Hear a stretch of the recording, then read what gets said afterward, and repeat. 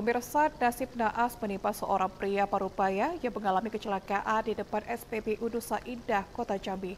Kecelakaan ini melibatkan satu mobil truk dengan seorang pengendara motor pada Rabu 10 Juli 2024 sekitar pukul 13.00 waktu Indonesia Barat.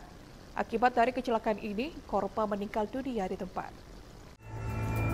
Halaman SPBU Nusa Indah Kota Jambi tampak ramai dipadati masyarakat. Mereka dihebohkan dengan kecelakaan maut yang melibatkan sebuah truk dengan seorang pengendara motor petik berplat nomor polisi BH6101ZS, menyebabkan pengendara tersebut meninggal dunia di tempat dan langsung dibawa oleh ambulans ke fasilitas kesehatan terdekat. Dijelaskan oleh Mubarak, saksi patah saat kejadian yang juga merupakan tetangga korban menjelaskan kronologi. Menurutnya, awal mula korban melintas menuju kawasan kota itu tersenggol oleh mobil minibus di sebelah kiri yang melintas. Akibat tersenggol tersebut, korban kemudian terjatuh, yang secara tiba-tiba terlintas oleh mobil truk lain yang melintas. Diketahui, mobil minibus tersebut melarikan diri, sementara sopir truk telah diamankan oleh personel Satlantas Polresta Jambi. Akibat kejadian memilukan itu, korban mengalami luka parah pada kepala dan langsung meninggal di tempat. Tak lama berselang, ambulans dan unit lantas Polresta Jambi langsung datang untuk mengevakuasi.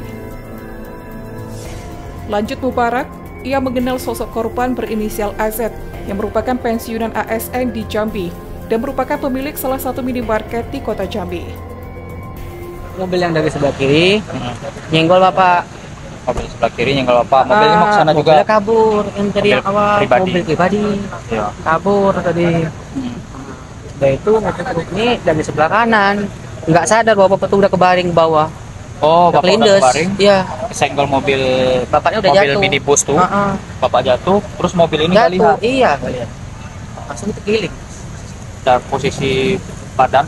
Kepala. Kepala ya? Kepala. jadi sebelah sebelah kiri penyet. Ya.